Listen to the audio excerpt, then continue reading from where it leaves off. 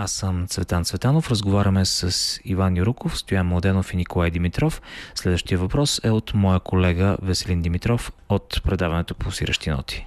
Малко ще се върна назад, защото тук страхотни свободни асоциации започнаха да излизат съвсем нормално в, в такъв разговор. Помня още като малко, когато доста често в а, паузите между, между отделните предавания на националната телевизия, единствената тогава, излъчваха откъси от а, концерт за оркестър и няколко пишещи машини.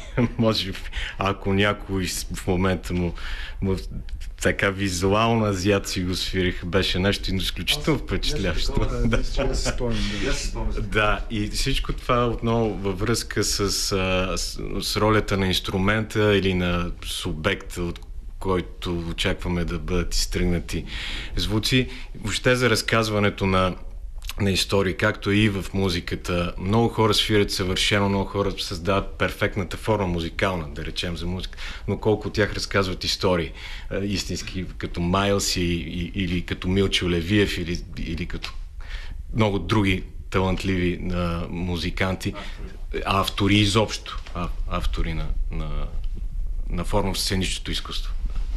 Това като казваш, аз се сещам, че като че ли цялото ни, цялата ни насоченост на нас като артисти води на там. Да, да, как да кажа, като че ли е, било то през театър, през рисуване, през кино, всички, всички като че ли се стремим към музиката. Защото тя, както каза Коки в началото, най-лесно достига до сърцето на човека. Не, не, не е целта да стигнеш лесно до човека, човешкото сърце, ами някак си той е подсъзнателен процес, който е, като че ли живее вътре в нас. Нали, това, за което говориш ти за, за авторите, които разказват с инструментите, а, него, това също го има и във филма до последния каприз, защото не е целта да бъдеш а, просто съвършен интерпретатор, нали, изпълнител, а целта е да, да, си, да си честен а, творец, търсещ, а, създаващ човек, автор. Нали, това е и драмата на, на нашия герой там, че той той не, не може да бъде нищо друго, освен един перфектен и не толкова перфектен изпълнител, интерпретатор, като птиче в клетка, където да, да интерпретираш чужда, чужда авторова мисъл, а не твоята собствена. Така че да, наистина, в случая ние искаме да бъдем а, адекватни, а, честни, проводници на авторовата мисъл, на мисъл на нали, Димитър Воев, чрез нова генерация, през нас към публиката. Добър проводник, който може да, да, да даде да, им, да преведе по този е, честен начин неговите мисли, за да стигне до сърцето на човека.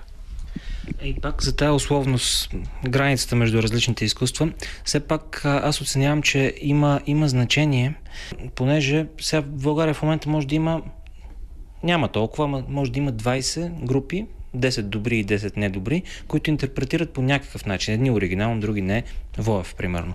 Но за мен е важно, че вие сте го направили точно като театрално представление и също така, че вие сте а, познати фигури от друго изкуство. Тоест, вие представяте и на едни други хора, които не е задължително са чували за Воев, примерно. И това е много важно. Точно това минаване от а, другата страна, нали? Това е, това е, това е хубавото. Искам да кажа нещо по повод, защото той каза едно изречение, че за музиката ще била всичко водило към нея. Някакси така не съм съгласен, защото сега си имам теория, моите наблюдения са следните. И това са реални неща, които аз вярвам. Сега ще ви кажа. Те са много важни за да помислите върху тях и какво около, да кажем, някакъв процент, 20-30% от хората могат да чуват. Другите не чуват. Изобщо не нямат представа каква, е музиката, не разбират от добра музика, няма и как никой да разбира, защото не чуват. Има друг голям процент, не знам точно как са разпределени, след това не се да кажа, но казвам, друг голяма група са такива, които са добре с визията. Те виждат много добре. Тоест при тях картината, това, което е визуалното, влиза много по-ясно и те много по, по, друг начин могат да видят нещо, което е визуално. Има една друга група, която нито от двете не ги докосва. Те изобщо няма, при тях не е нужно изобщо да бъдат на, как да кажа, на, на театър, на концерт или на такова произведение, няма смисъл при тях, защото те просто нямат такива, сетивата им не, друго им е засилено. И има една друга по-малка група, която може всичко. В смисъл такива, които имат хем усет за, за звука, хем разбират от звук, хем разбират от визия, хем имат друг енергия, но са хем така са, имат интелектуален капацитет и са чели и така да. Те са една вече друга група, която вече пред нея е най-благодатно да представяш по-сложни произведения. Второ ред на мисли искам да кажа, че... Някакви елфи, говориш за някакви елфи сигурно. Ами не, искам да кажа, че не всичко е за всеки, а когато говорим за театралния жанр предавайки нещо, т.е. използвайки за основа Димитър Воев и акорд и, и песни на нова генерация, които са аранжирани, всъщност и от тук може да, да се запознаят с тях хора, които са които до сега са били само на концерти и са слушали като, като група това. Не са ходили на театър. Обаче могат да се запознаят с нещо и да, да открият там други неща, които явно те могат да видят. Но има друг, друга група, която може ходи само на театър, но не е слушала тази музика, но да има сред тях хора, които имат уши да чуят, както казах, защото това е просто физично нещо. Наистина го казвам. Не е никой за опрекване, просто е така работата. Които изведнъж да, някакси да, да, има импулс при тях да се запалят, да, да има нещо, което да, им даде. Да им даде от това. Така че пак се връщаме, когато жанр е смесен, когато е модерният жанр, а това означава всичко да правиш едновременно, хем да можеш да пееш, хем да можеш да свириш, хем да можеш да играеш, да правиш етюди, хем да можеш да говориш или да бъдеш като публицистично. И ако можехме и да танцуваме, вече тук аз наистина ще да... Ето, фанем, това ми липсва. Не танцуваме. Ако аз разбирам правилно моя колега, ако трябва да обобщим, е, нашето представление е едно будителско представление. Така ли да разбираме? Ами... А, освен ако нали, не вкараме и някакъв танц накрая, не, твой танц. Не, не, искам да кажа, че то с не, не е за всеки, няма как да бъде за всеки. За, за, за по, как да кажа, според мен той е за по-определен кръг от хора, които имат уши да го, да го чуят. Защо не съм съгласен, защото това е така да няма да водим спор тук в ефир в момента да губим времето. Според мен не бива да се занимаваме с да категоризираме кое ухо чува, кое ухо не чува. Въпросът е, ако а, а, дали то стига по някакъв начин, нашето, нашето, нашето послание дали а, е, е способно да, да достигне до някого и той е някой, ако е отворен към нас, дали ако бръкне в това, което иска да, да което вижда, дали ще удари на някакво дъно стена и прочее, или ще намери това, което му трябва. Въпросът е, че ние не трябва да предлагаме една тепсия, в която човек може да се изплиска иска да си намокри лицето и като опита да ровне по-надолу, не да намери нищо. Трябва да му дадем една, едно абсолютно откровено произведение, което без да съобразяваме дали то е задоволително за чувствителното ухо или за... Това казвам когато е богата палитрата, има различни неща, които можеш. Всеки човек ще намери нещо за себе си, според своите качества. Това исках да кажа. Смисъл, аз пак не мога да казвам според своите собствени качества, възприятие, развитие, собствено лично. Той, когато има повече неща и, е, и жанр е еклектичен, той винаги може да се закачи за нещо, да намери оттам то да го, то да го докосне или и оттам да тръгне да разбира смисъл. Това искам да кажа. Че това е много особено. Но ако имаш по-голям капацитет потенциал, е по-добре да бъдеш развито. Това важно, искам, това го смятам, че е така. Да. Затова може би сме заложили на, на политическата сатира, ако някой не му стрига музиката и поезията, да се закачи поне за, за политиката. Вчера един мой колега в театъра ме пита, разкажи ми за този спектакъл, защото и аз чух. От кой? Не знам, но чух. Което означава, че по някакъв начин в нашето така, коридорче актьорско се говори за този спектакъл. Аз му казах, няма да ти го разказвам, защото не е честно спрямо теб, спрямо мен ще дойдеш да го гледаш и така, ще усетиш или няма да усетиш. А вече това са. Но, в зависимост от ухото. И от окото. Но сега, за тези уши и за тези очи, аз така искам леко да ги пренебрегна. И ще кажа следното, че а, направи впечатление в Сандански. Имаше хора от всякакъв вид групи. Чуващи, нечуващи, да, слепи. Важно, това е важно всякакъв човек беше там, хомо сапиенс, всякакъв вид хомо сапиенс. Просто беше една гора от различни хомо сапиенси, като широко лисна. Слушай, внимавахме се опиди на хомо сапиенс. Добре, да. да. ми хомо буденс. Да, мисълта ми е следната. А, направим впечатление, че във всеки един човек, вътре в душата му, а, строят едни въпроси, постоянно. Човекът така е стакан от въпроси, лични, негови неприкосновени въпроси, които в живота си някакси така ги бяга от тях, някой ги слага в ъгъла, ня... по някой път не иска да отговаря. Те строят, но той казва, не, не, не сега, не сега. Някой друг път така ще си отговоря сам на себе си, когато останеш сам тези 3 секунди преди да заспиш, например. И а, видях тогава в Сандански, че имаше едно лице на един човек възрастен, който беше а, така изразително, а, изразителна благодарност, не толкова от а, това, че видя нещо, което е красиво. То наистина е красиво, така поне мисля, че е красиво и вярвам в това, че е красиво, но имаше такава благодарност, все едно тази летаргия, която животът го е подела и честността, която става сам със себе си, някакси м- тук излезе. И съм сигурен, че той, когато се е прибрал вкъщи, Той е седнал, запалил една цигара, сипал се някой питие и със сигурност се е почувствал, как да кажа, много откровен вътре в, в себе си. Просто събудил се е някакси. Събудил се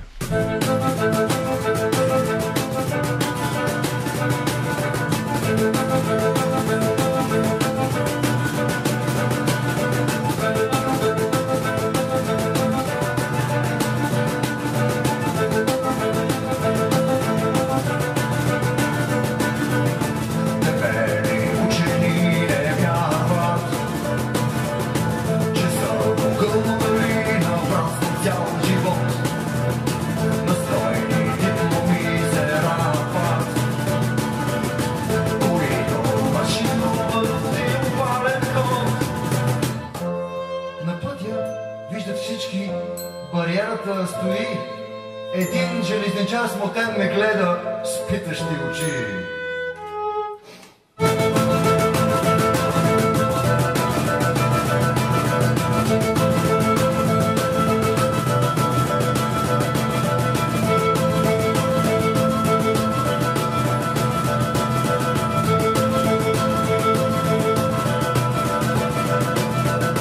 Моралът чичко застаряващ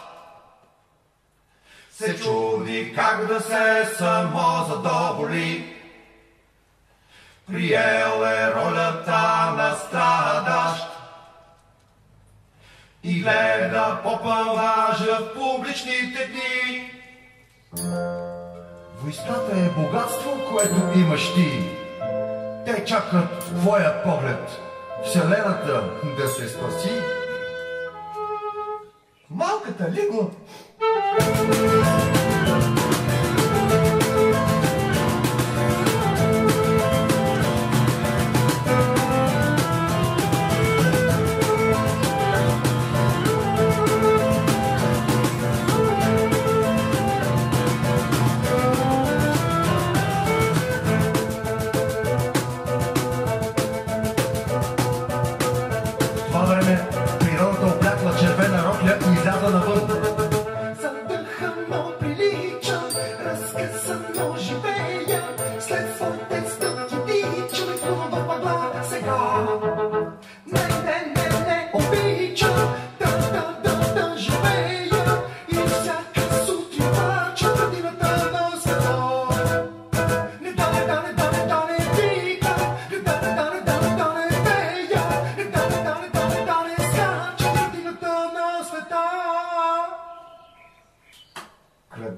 На света.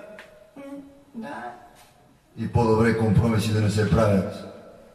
Разочарованието е неизбежно.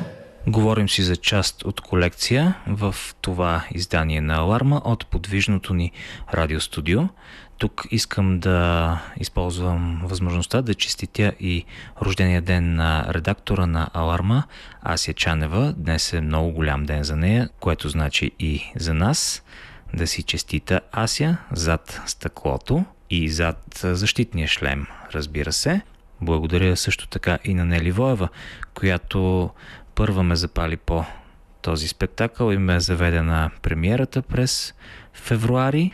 А тук с Веселин Димитров отново се насочваме за последни думи към нашите събеседници Николай Димитров, Стоян Младенов и Иван Юруков. Да напомня на нашите слушатели, че този спектакъл може да бъде видян на 25-ти в а, а, Сливен, в крепостта, която е там в Сливен, над града. Точно едно прекрасно място, града се вижда отзад. А, сцената е чудесна, ще бъде пак под а, звездите. Надяваме се някой орел, може би от а, сините камъни да дойде отгоре.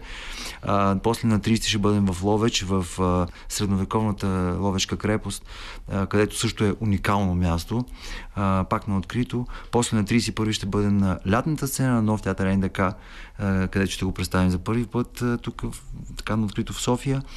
И а, следва в Народен театър Иван Вазов, отзад в а, откритата сцена, лятната сцена на Народния театър на 27 август и после отиваме на Аполония в Созопол. Това е нещо, което е също така много важно. Така, за нас е доста, доста важно да бъдем на Аполония тази година с, точно с този спектакъл. И това, което иска да кажа аз за развитието на спектакъл спрямо мястото. А, все пак аз само два пъти съм го гледал, но почвам да си представям къде как би стоял.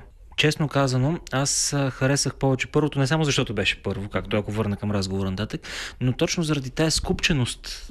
Там пианистът така беше малко на заден план, почти сте един върху друг, нали човек трябва да си премерва движенията с какъв инструмент на къде да му отиде ръката. Да, там пространството Как, как влияе пространството върху самото нещо? Или как нещото влияе върху пространството? Ами, да, има значение. Разбира се, че по-камерните представления влияят по така, един по-личен, по такъв а, Интимен. интимен начин, да.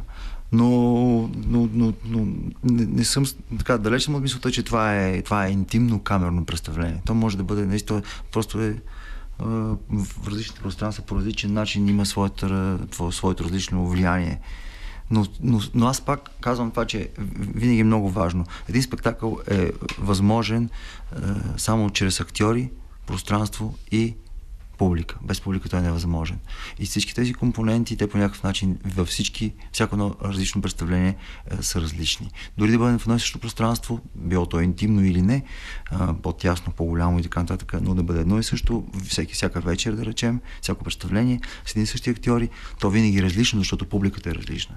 Така че, онова случване на първото представление, то беше случване заради, заради самото за- заради, Първо. заради, заради самото случване, заради тези обстоятелства. Докато ако пак отидем там сега, то ще бъде различно. Така че, така че не е определящо а, само пространството, дали то, е, а, дали то е добро или не е. В смисъл представлението. И последно, може би като заключение върху всичко. А, ти малко го каза, нали, има и политическа сатира, ако някой не разбере нещо друго, но все пак този момент е много важен и тия думи, които се появяват и са много силни в определен момент, защото сега моментът е много особен. И филма, и представлението някакси, аха, започнаха, т.е. трябваше да има премиера на София Филмфест да. филма, а пък представлението, нали, аз го гледах точно в февруари и изведнъж, нали, дойде този момент. И дори аз мисля, че в Сандански имаше момент, който директно си го свързах с ситуацията. Ами, да, ние не, не сме така да е, нито Воев е искал да предскаже какво точно ще стане за тази социална дистанция, нали, която в момента се налага като мярка. А, нито като че ли а, нещата, които... Но да, а, вътре те съществуват в, в спектакъла, те, те винаги са съществували като че ли тези, тези неща. Необходимостта от социална дистанция за себесъхранение, това винаги го е имало и, и, и може би е лично, въпрос на лична отговорност да се спазва, за да може човек да се самосъхрани, да се себе изгради по някакъв начин. А пък още повече е, факта, че съвпадна с ситуацията, за нас е като че ли е, по-скоро го приемаме като като знак, че сме на прав път, че се занимаваме с нещо стойностно и актуално. И може би хората, които са го видели точно в този момент, след три години ще го помнят много по-добре, отколкото ако беше в цивилно време. Не, не знаем, не знаем, но... Еми, добре. Да добавите вие нещо? Като финални думи. Ами, без да искам, загубих вроденото си чувство за дистанция. А това е една от пътеките, които водят до душевното задръстване. Душевното задръстване имаш предвид нещо като интоксикация на мисли и мечти. Може би само сънищата са все още недостижими, защото те остават в последната част, в сърцето на крепостта. Музика. Аларма. Всеки делничен ден от 9.30 до 11 вечерта Бъди в час и половина. Музика. Така завършва разговора с а, Иван Юруков, Николай Димитров и Стоян Младенов. А тук а, и нашето предаване изтича вече между пръстите ни. Аз съм Музика, в... то, музика звучи като Еврик. Е, абсолютно. Сега, сега ми хру- Това е Веселин Димитров, водещ в Аларма, шегувам се. Защо пък не? В близкото бъдеще по-чест водещ гост, водещ в Аларма, както аз често ти гостувам в пулсиращи ноти. А, по същата тема, турнето, част от колекция, театрално-музикален перформанс по текстове на Димитър Воев. е, Ще разговаряме с Иван Юруков, а, Стоян Младенов и Николай Димитров и в пулсиращи ноти. В петък във втория час. Иначе какво готвиш за лятото там нататък през август? Началото със сигурност а, ще бъде с първата част на Live Spirits, концерта на, на, на Depeche Mode. Предвиждам заглавие като In Excess, за да спомена само малко по-напред. Металика, В концертни варианти. В концертни варианти, тъй като, знаете, оповестиха официално и тръгна и трейлъра за Металика с симфоничен оркестър втора част, 21 години по-късно. Така че живот и здраве и, и това ще чуем, но да не издаваме всичко, разбира се, да поддържаме интригата. Тоест насочваме, насочваме а, погледа за лятото. Абсолютно, а, но пък тези имена са достатъчно притегателни, за да бъдете на штрек и да се ослушвате в петъците какво ви готви а, екипа на пулсиращи ноти. Така че ти благодаря за тази възможност да го споделя и тук. Благодаря ти и аз и скоро пак ще се видим в това или в онова предаване. Това беше всичко от Аларма за тази вечер. В Аларма работих а, Ивайло Стефанов, Ася Чанева, Георги Топорчев, Зорка Мирчева, Веселин Димитров и моя милост Цветан Цветанов и ще се чуем много скоро.